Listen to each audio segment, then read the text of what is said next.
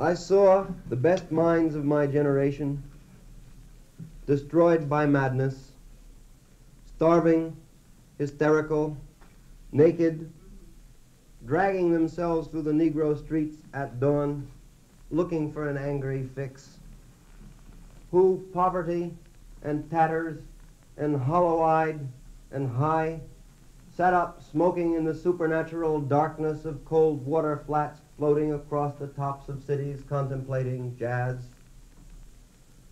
who bared their brains to heaven under the L and saw Mohammedan angels staggering on tenement roofs illuminated,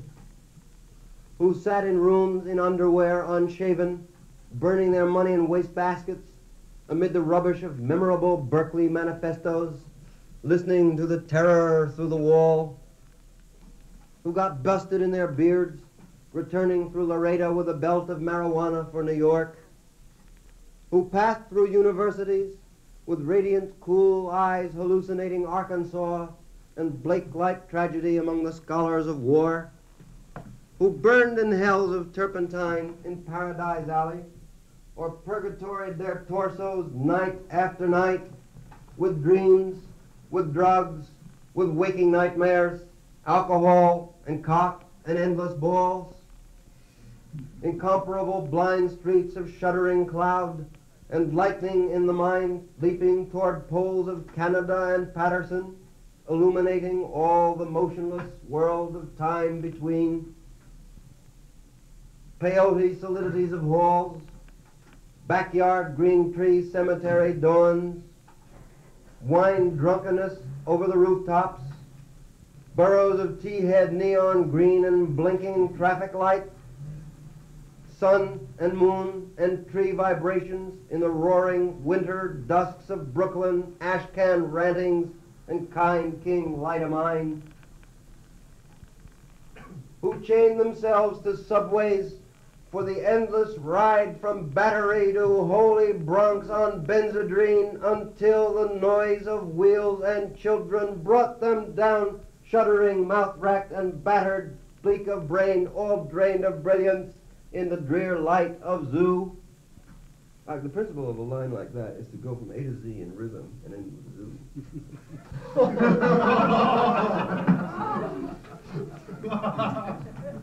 who moped all night in submarine Bickfords and returned to sit all through the stale morning in desolate Fugazzi, which was a big hit bar in New York in 1943, listening to the crack of doom on the hydrogen jukebox, who talked continuously 70 hours from park to pad to bar to Bellevue to museum to the Brooklyn Bridge, yakata yakking, screaming, vomiting, whispering facts and memories and anecdotes and eyeball kicks and shocks of hospitals and jails and wars. A lost battalion of platonic conversationalists jumping down the stoops, off fire escapes, off windowsills, off Empire State, out of the moon, who vanished into nowhere Zen, New Jersey, leaving a trail of ambiguous picture postcards of Atlantic cryptic hall, suffering eastern sweats and Tangerian boom grinding and migraines of China under junk withdrawal in Newark's bleak furnished room, who lounged hungry and lonesome through Houston seeking jazz or sex or soup, and followed the brilliant Spaniard to converse about America and eternity, a hopeless task, and so took ship to Africa, who sneaked through the railroad yard wondering where to go, and went, leaving no broken heart. Who lit cigarettes in boxcars, boxcars, boxcars, racketing through snow toward lonesome farms in grandfather night. Who studied Vico and flood telepathy and Bach Kabbalah because the cosmos instinctively vibrated at their feet in Kansas stumbling in the aisles of Kansas, who loaned it through the streets of Idaho, seeking visionary Indian angels who were visionary Indian angels, Oh, who jumped. This actually is the best line. I mean, it's the center, it's actually the center perception of the whole poem. in terms of self acceptance, in terms of Whitman again who jumped, I'll read it again, who loaned it through the streets of Idaho, seeking visionary Indian angels who were visionary Indian angels to begin with. Who jumped in cars with the Chinaman on impulse of winter midnight street tots, winter midnight street light small town rain, who disappeared into the volcanoes of Mexico, leaving behind nothing but the shadow of dungarees and the lava and ash of poetry scattered in fireplace Chicago, who reappeared on the West Coast investigating the FBI in beards and shorts, with big pacifist eyes, sexy in their dark skin, passing out incomprehensible leaflets. who lived penniless over the city hills with half a mustache hanging on the sinister lip, Peter Du Peru. sinister means left lip. Looking for an example of Baroque architecture and spent hours in the bathroom washing their few nickels with an angelic buffalo toothbrush. Who broke down crying in white gymnasiums, naked and trembling before the machinery of other skeletons who burned cigarette holes in their arms protesting the narcotic tobacco haze of capitalism, who passed out super communist leaflets in Union Square weeping and undressing, while the sirens of Los Alamos wailed them down and wailed down Wall, and the Staten Island ferry also wailed, who screamed on all fours in the subway and were dragged off the roof waving genitals and manuscripts who bit detectives in the neck and shrieked with delight in particulars in police cars for committing no crime but their own wild cooking, pederasty, and intoxication. Who let themselves be censored in the censored by saintly motorcyclists and screamed with joy. who censored and were censored by those human seraphs, the sailors, caresses of Atlantic and Caribbean love, who hiccuped endlessly trying to giggle but wound up with a sob behind a partition in a Turkish bath, when the blond and naked angel came to pierce them with a sword, who lost their love boys to the three old shrews of fate,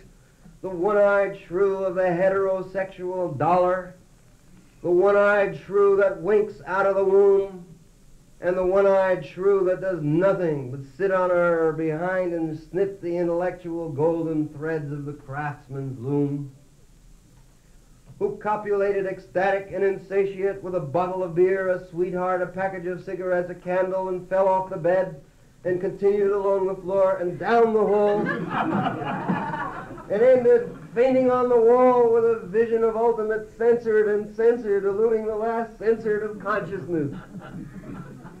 Who sweetened the censored of a million girls trembling in the sunset, flashing censored on their barns and were red-eyed in the morning, but prepared to sweeten the censored of the sunrise, naked in the lake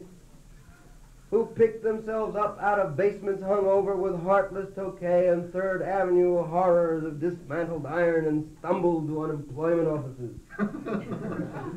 who ate the lamb stew of the imagination, or digested the crab at the muddy bottom of the rivers of Bowery, who cooked rotten animals, lung, heart, feet, tail, borscht, and tortillas, dreaming of the pure vegetable kingdom.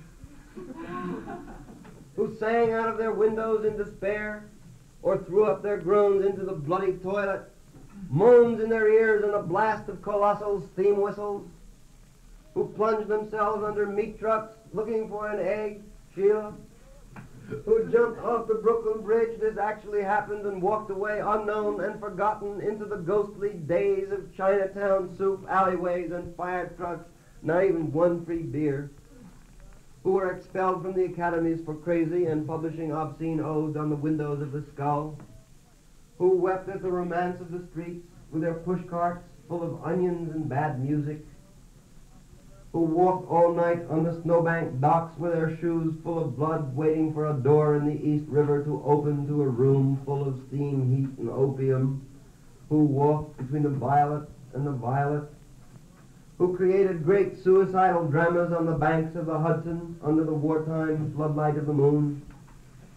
who burned on the highways of the past, journeying to each other's hot rod Golgotha, jail solitude, watch, or Birmingham blues incarnation, who drove cross country 72 hours to find out if I had a vision, or you had a vision, or he had a vision, to find out the present, who journeyed to Denver, who died in Denver, who came back and waited in Denver, watched and went away finally to find out the future, who fell on their knees in the hopeless cathedrals, praying for each other's salvation and light and breath until the soul illuminated its hair for a second, who threw their alarm clock out of their windows in the ballad of eternity,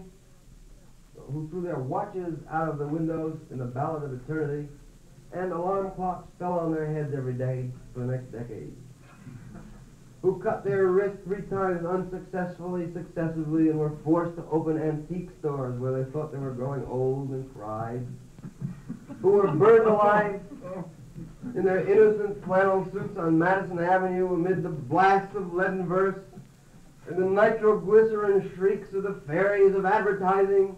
and the mustard gas of sinister, intelligent editors, or were run down by the drunken taxicabs of absolute reality who sat in boxes breathing in the darkness under the bridge and rose up to build harpsichords in their loft, who retired to Mexico to cultivate sex, or Rocky Mount to Buddha, or Tangiers to Boy, or Southern Pacific to the Black Locomotive, or Harvard to Narcissus, to Woodlawn to the Daisy Chain or Rage, who crashed through their minds in jail, waiting for impossible criminals with golden heads and the charm of reality in their hearts who sang sweet blues to Alcatraz, who demanded sanity trials, accusing the radio of hypnotism, and were left with their insanity and their hands and a hung jury who threw potato salad at CCNY lecturers on Dadaism. and subsequently presented themselves on the granite steps of the madhouse with shaven heads and harlequin speech of suicide demanding instantaneous lobotomy.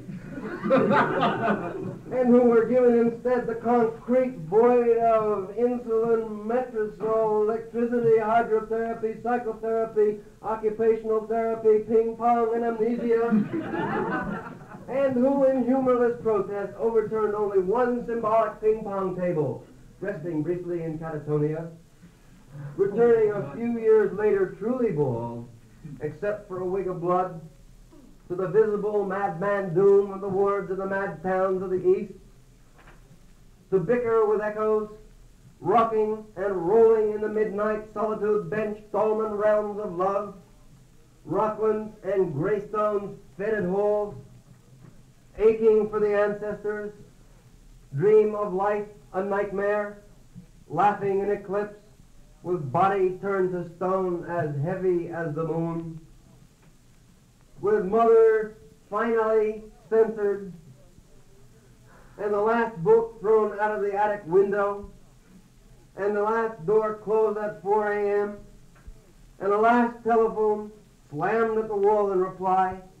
and the last furnished room emptied down to the last piece of mental furniture, a yellow paper rose twisted on a wire hanger in the closet, and even that imaginary, nothing but a hopeful little bit of hallucination. ah, Carl, while you're not safe, none of us is safe. And now you're really in the total soup of time. And who, therefore, ran through the icy streets, obsessed with a sudden flash of the alchemy of the use of the ellipse, the catalog, the meter, and the vibrating plane, who dreamt and made incarnate gaps in time and space through images juxtaposed and trapped the archangel of the soul between two visual images and joined the elemental verbs and set the noun and dash of consciousness together jumping with sensation of pater omnipotens aeterna Deus, recreating the syntax and structure of poor human prose,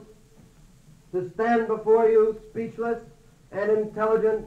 and shaking with shame, rejected, yet confessing out the soul to conform to the rhythm of thought in his naked and endless head, the madman bum and angel, beat in time, unknown, yet putting down here what might be left to say in time, come after death, and rose, reincarnate, in the clothes of ghostly jazz, in the gold horn shadow of the band,